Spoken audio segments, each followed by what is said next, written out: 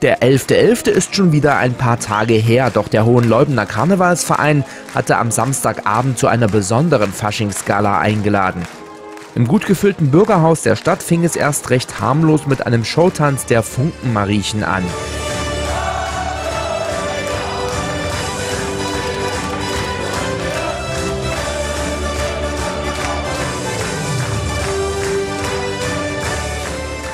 Doch es waren weniger die Frauen, die zu dieser Veranstaltung im Rampenlicht stehen sollten. Zum 15. Mal konnten die Besucher hier nämlich einen Männerballettabend erleben. Insgesamt neun Karnevalsvereine aus der Region traten mit ihren Choreografien gegeneinander an und brachten die Halle zum Beben.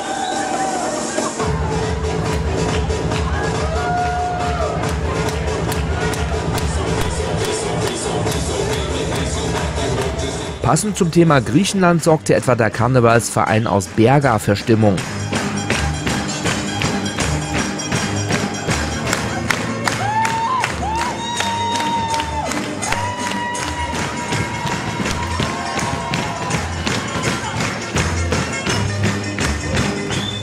Modern wurde es dann im Anschluss mit den Karnevalisten aus Weida. Jump Your Style war ihr Motto und der Name war Programm.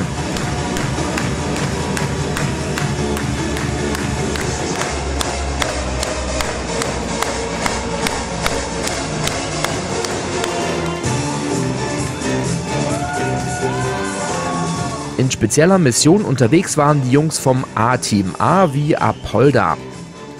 Mit den vielen verschiedenen Showdarbietungen sorgten die Männer vor allem beim weiblichen Teil des Publikums für Begeisterung. Über 300 Vereine in Thüringen beweisen, dass man das Spaßige im Freistaat durchaus ernst nimmt. Und auch der Männerballettabend zeigte, dass man für das Närrische hier viel übrig hat.